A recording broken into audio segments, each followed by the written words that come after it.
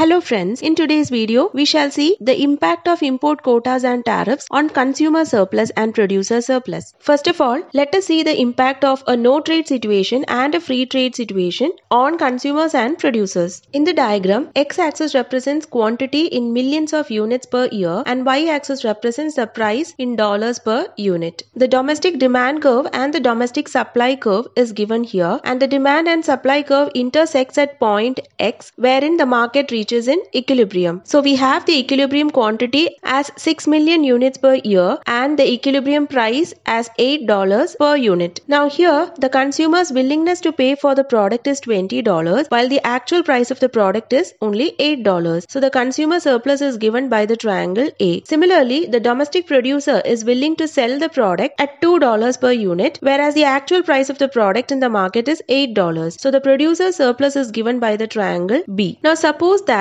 the same product is sold at $4 per unit in foreign markets. So we can say that the global price or the world price of the product is $4 per unit while in the domestic market the price for the same product per unit is $8. So we can clearly see that the world price is lesser than the domestic price. Now if the country follows a free trade regime then the domestic consumers will want to import the good. They will be able to do so without any restriction. At the price of $4 per unit the domestic demand is 8 million units, whereas the domestic producers are willing to supply only 2 million units at the world price of $4. It is to be noted that if the domestic consumers start to import the product at a price of $4, then the domestic producers will also lower their price to $4. Why? Because if they keep their price constant at $8 itself, then no domestic consumers would purchase their product as they can get the product at a much lower price from the foreign market. So, if the domestic producers do not lower their price to the world price, then they will lose the entire market. Now we can see a change in the consumer surplus as well as the producer surplus when compared to a no trade situation. That is, this red triangle represents the consumer surplus in a free trade situation, whereas this blue small triangle represents the producer surplus in a free trade situation. And the additional domestic demand of 6 million units per year will be imported by the country. So, under a free trade regime, the domestic consumer surplus is greater than the domestic producer surplus as well as we can see that there is no deadweight loss. So, in a no trade situation, the consumer surplus was triangle A whereas in a free trade regime, the consumer surplus has increased from triangle A to B, C and E portions. Whereas in a no trade situation, the producer surplus was triangle B while under a free trade regime, producer surplus has decreased drastically from triangle B to triangle L. So clearly we can see that the domestic consumer surplus is greater than the domestic producer surplus under free trade regime and also there is no deadweight loss. Since it is clearly visible that the domestic producers stand to lose with free trade, they will often attempt to restrict or even eliminate the imports. Since the domestic producers are suffering under a free trade regime, the government will try to protect the domestic producers by imposing import quotas and tariffs. Now let's see what happens to the domestic consumer surplus as well as the domestic producer surplus when the government imposes a tariff. Now suppose that government sets a tariff of $2 per unit to the world price of $4. It means the total price per unit is now $6. At this new price of $6, the domestic demand is 7 million units whereas the domestic supply is 4 million units. Here also the domestic producers will lower their price to $6 per unit and at this price the domestic producers are willing to produce only 4 million units of the product whereas the domestic demand at this price of $6 per unit is 7 million units. So the additional domestic demand of 3 million units per year will be imported. So when tariff is imposed by the government, the consumer surplus is represented by the red triangle whereas the producer surplus is represented by this green triangle. Here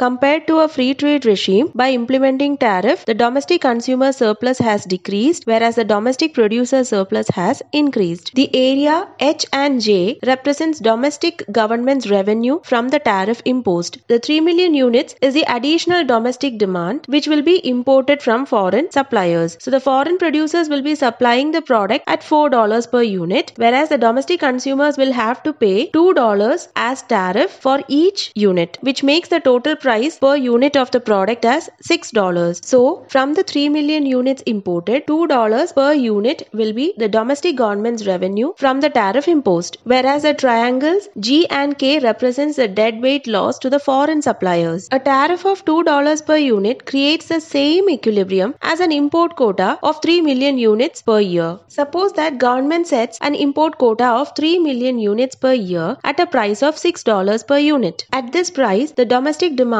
is 7 million units whereas the domestic supply is 4 million units which is same as what we have seen in the case of tariffs. And the additional domestic demand is 3 million units per year which will be imported and that is also equal to the import quota set by the government. So here the consumer surplus is represented by the red triangle whereas the producer surplus is represented by the green triangle. Here also the consumer surplus is lesser than under a free trade regime whereas the domestic producer surplus is greater than free trade regime and the areas G, H, J, K represents dead weight loss while the rectangle portion HJ represents the foreign suppliers revenue that is the domestic government has set an import quota of 3 million units per year at a price of $6. So the foreign suppliers will be selling that product to other nations at $4 per unit whereas the foreign suppliers will be selling the same product to this nation at a price of $6 per unit. So the import quota of 3 million units at a price of $6 becomes the foreign suppliers revenue. Now suppose if the domestic demand increases beyond 7 million units per year that is the domestic producer is supplying 4 million units per year plus the 3 million units per year is the import quota which is imported from the foreign country. So the total 7 million units of domestic demand is met. Now suppose if the domestic demand increases beyond 7 million units per year then no additional units of the product can be imported because the government has already